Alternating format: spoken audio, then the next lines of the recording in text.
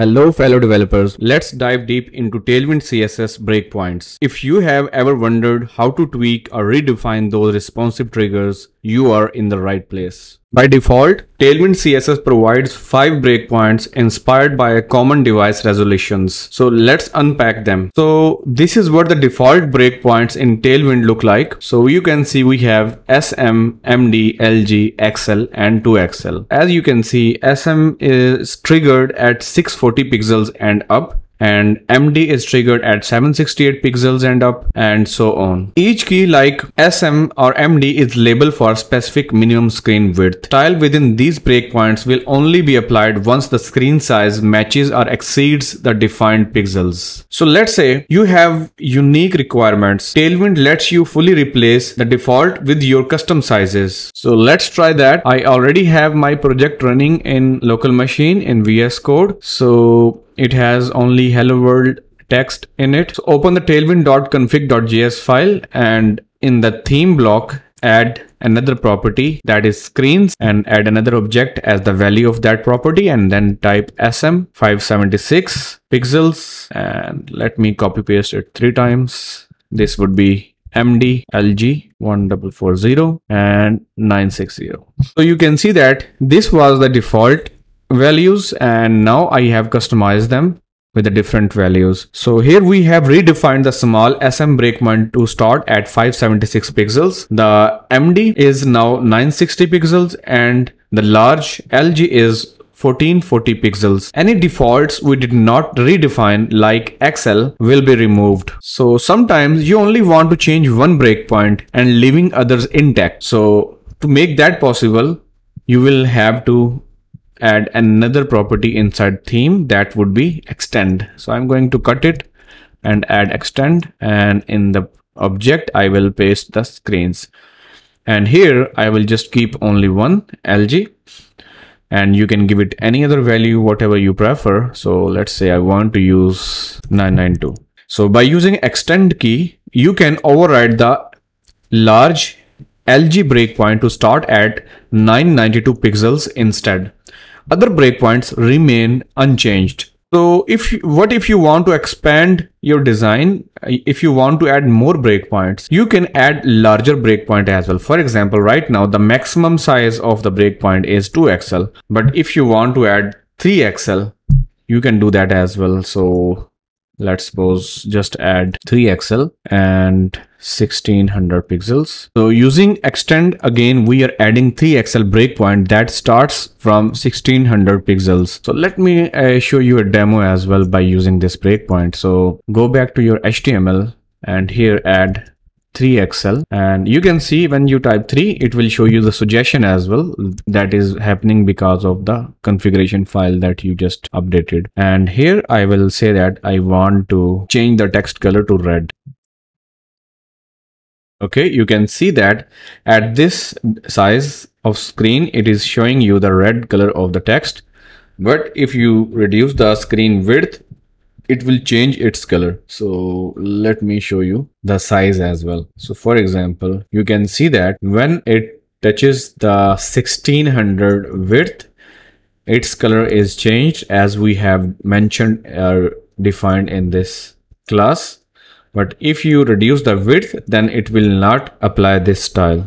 So next thing is that if you want to add smaller breakpoints or if you implement smaller breakpoints you will just uh, come in the same tailwind.config.js file and i will remove it for now. And here let's say i want to add xs that is extra small for 75 pixels. And also you need to add this default. Actually we have to import it as well. Let me do that first. Const default theme so we are basically importing the theme require and here add tailwind slash default theme. Now you can use it default theme dot screens. So for smaller breakpoints like xs here override the entire screens key and combine with the default screens. This ensures breakpoints are sorted correctly from smallest to largest. So let's test it, test it as well. Sorry, I just forgot to add screens here. Now if you type access it will show you the suggestion and also you can add the condition for the color text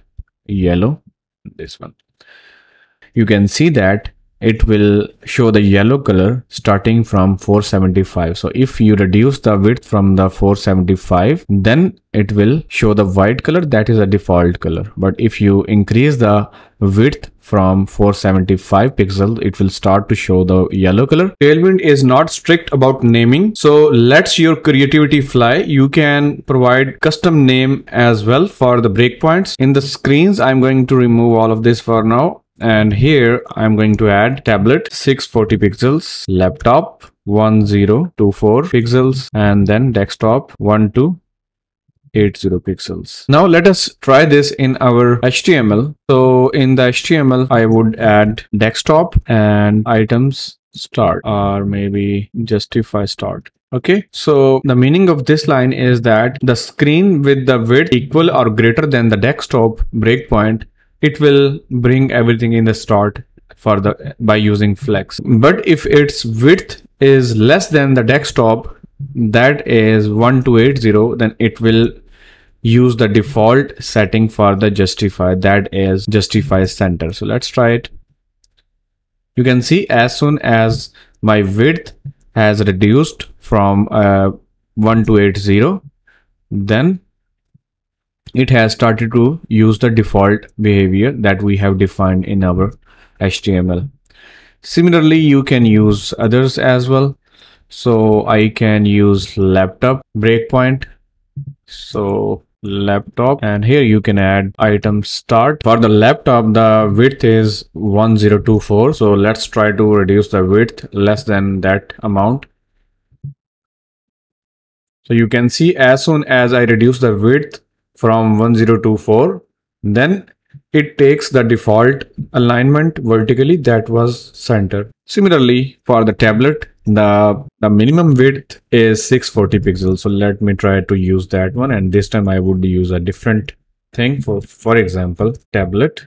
And I will use a different background, maybe red. Now you would see that any width that is equal to or greater than tablet it will add the red background for all of those screens. But as soon as you reduce the width less than the tablet, that is 640 pixels, it will automatically revert that style and it will keep the default color that was added earlier. For those craving even more control, let's delve deeper. You can also add max width breakpoint. So for that, I'm going to remove it for now. And here, let's add XL. And here I will add max 1 to 7, 9 pixels. Okay. Now let's test it. So here, instead of defining when styles should start, we define when they should end. So this style will apply until the screen width is 1279 pixels. To test that, let me remove the old code that I have added earlier. And here, let me add XL and BG orange. As we can see in our settings, the maximum width is 1279 pixels. That's mean this uh, style that I just added would not be applied for the width that are greater than 1279 pixels. So right now the width is 1995. That's why the color is not visible. But if I reduce the width as soon as I reduce it less than the XL screen size, then it will start to show my styles that I have defined. So let's try. You can see as soon as I reduce my width less than the XL screen, the color is visible. Next thing is that you can add fixed range breakpoints as well. So for example, here instead of XL, I would use SM and here I will add minimum and 640 pixels and max 767 pixels. So using both minimum and maximum keys, styles under this breakpoint will only be applied within the defined range. So let's test it. Here I will add instead of XL, I will use SM. And now as we have added 640 is the minimum and 767 is maximum. So let's reduce the width less than 767 pixels and you can see that it is orange and now width is less than 640 pixels that is minimum of the small screen. That's why the style is not working. Okay this is how you can implement the fixed range breakpoints. Next thing is multi-range breakpoints. Uh, so far we have added only one range for a single breakpoint but it is also possible that you can add multiple ranges for single breakpoint. Let's say here I'm going to use MD, an array. So earlier we added an object, but this time we have added an array so that we could add an array of multiple ranges. So here the first object would be minimum 668 and maximum 767 pixels. And here in the second range, I would not specify the maximum 868 pixels. Okay, now we have two ranges. So if I use this breakpoint, then our styles would be applied only if the width of the screen is between these two values uh, 668 or 767 pixels. If width is between this range, then our styles would be applied. Or if the width is minimum 867 pixels. So if any of these conditions is true, then it would start working. So let me try it. So here I will add MD. Now we will look at our values and test them one by one. So let me set the width to 668 pixels. In order to apply this style, the width should be minimum 668 pixels. But if I reduce the width less than this, then the style should not be applied. As you can see, the style is not being applied. But if I increase my width, then it would keep working until it is 767 pixels. But if the width is more than 767 pixels, then it will not work. So let me add 767 here.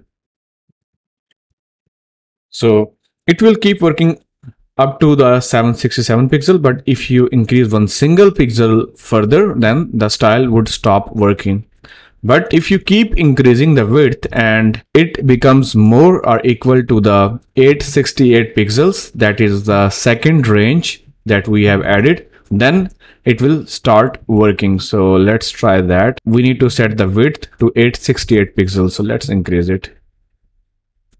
Okay, you can see that it has entered in the second range and that's why our styles have uh, started to work again.